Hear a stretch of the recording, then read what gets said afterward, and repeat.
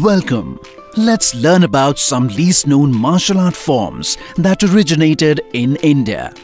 The mother of all martial arts, Kalaripayattu, is a 3000 year old art form that belongs to Kerala, whereas Manipur calls its art of war Thangta, which simply refers to spears and swords. Gatka is the beta version of Shastra Vidya, developed by warriors and gurus of Punjab.